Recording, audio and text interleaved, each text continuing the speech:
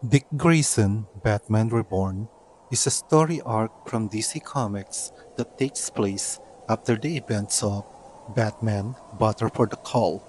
Following Bruce Wayne's apparent death, Dick Grayson, formerly known as the First Robin and later Nightwing, reluctantly takes on the mantle of Batman to protect Gotham City. The story follows Dick as he struggles to live up to Bruce's legacy while trying to establish his own identity as Batman. Unlike Bruce, Dick brings his unique approach to the role, emphasizing agility and acrobatics over brute force. He is joined by Damian Wayne, Bruce's son, who becomes the new Robin. Their partnership is marked by tension and conflicting ideologies, as Damian is ruthless and eager to prove himself, while Dick tries to uphold Batman's principles. Throughout the arc, Dick faces various challenges, including villains like Two-Face and Professor Pig, as well as internal struggle about whether he can ever truly fill Bruce's shoes. The story also explores the dynamic between Dick and the rest of the Bat family, including Tim Drake, now Red Robin, and Barbara Gordon, now Oracle. Dick Grayson Batman Reborn is a pivotal moment in the Batman mythos, showcasing Dick's growth as a hero and his determination to honor Bruce's legacy while carving out his own path as the Dark Knight. Hey yo everyone! Welcome back to my channel. In this video, I'll be reviewing the DC Multiverse Dick Grayson Batman based from the story arc Batman Reborn. By the luck of the draw, I was able to get the Platinum Edition, which is the Blue Chase variant. Moving forward, if I'm still able to get the regular version of this figure, I'll be making a separate comparison video. Now, let's start with the review and hope you enjoy it. If you enjoy my video, please don't forget to leave a like, share, and subscribe. It will really help my channel a lot. Now, please enjoy.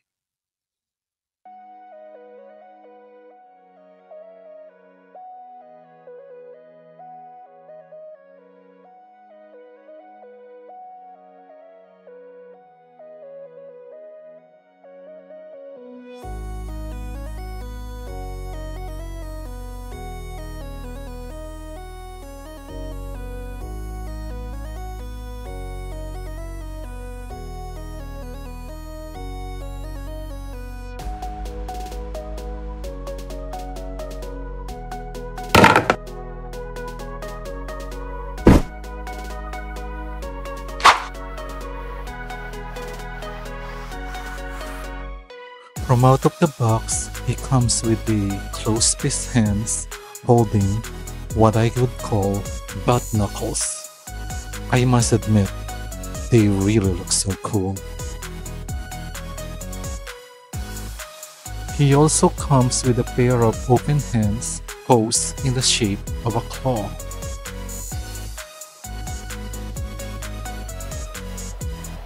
He also comes with a pair of weapon holding hands. Unfortunately, he doesn't come with any, not even a single batarang.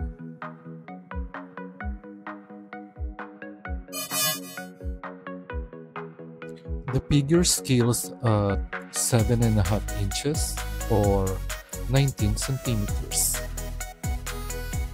He also comes with a standard McFarlane art card with a short biography at the back and standard McFarlane base or stand with the DC logo. Now let's start and have a look at the head articulation.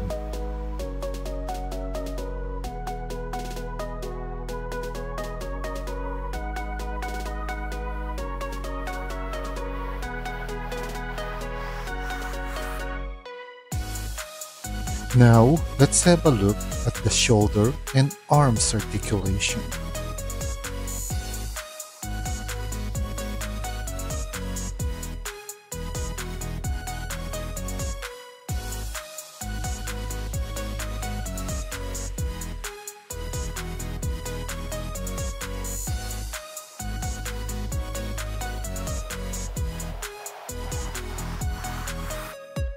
Now let's have a look at the abdominal cut and waist rotation.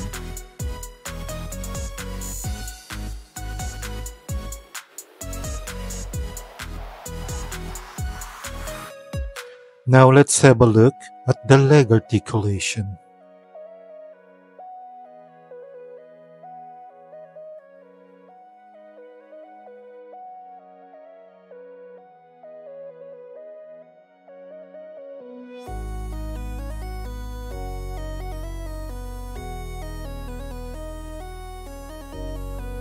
I love that McFarlane have now been uh, using soft goods and wires for the cape of their figures. So yeah, I, I am a fan. I am a fan of guard cape. For me, I think it increases the fun factor of the figure. My only problem is this: the shape that they've given the cloth for me is not enough in order for you to pose Batman completing the whole bat shape. So I, if, if you will see the, the cloth is only up to here instead of up to here in order for you know in order for us to pose him attacking and forming the shape of a bat now for some size comparison here is with Tim Drake Robin. This Robin is really oversized. Here is with Val Kilmer Batman.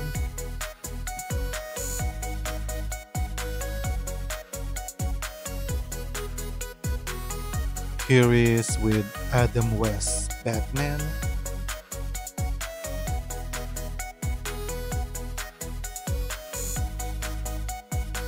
Here is with the Batman Forever Robin.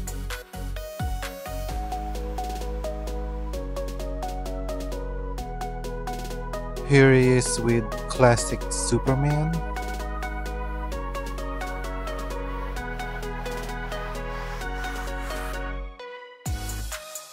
And finally, here he is with Joker.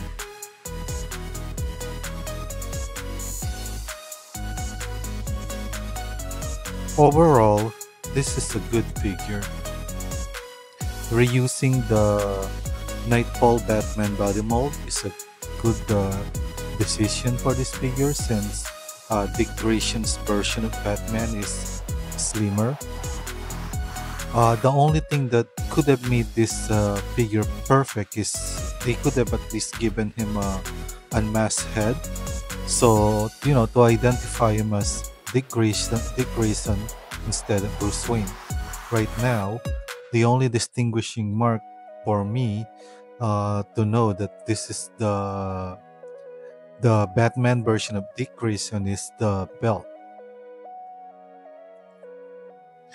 Uh, for improvement, uh, as I said, um, I love the fact that McFarlane is now reusing wired cape for the figures it definitely increased the fun factor of the action figure. And as McFarlane said on the last week's interview it is cheaper for them to use uh, soft goods escape so they'll be able to afford to increase uh, the accessories of the figure like alternate pants. But uh, as I said earlier they could have at least shaped the cloth of the cave in order for us to be able to pose him jumping or gliding in the shape of a bat. Right now, I noticed that with the cloth that they've been using, I, I cannot do that. I know it's an additional material, but this is Batman. We will always gonna need to pose him jumping, gliding, using his cape to in order to look or uh, show the shadow of the bat on the shape. Anyway guys, if you reached this part of my video, thanks a lot. If you like my video, please don't forget to like, share, and subscribe. It will really help my channel. And as usual guys, enjoy life and keep collecting.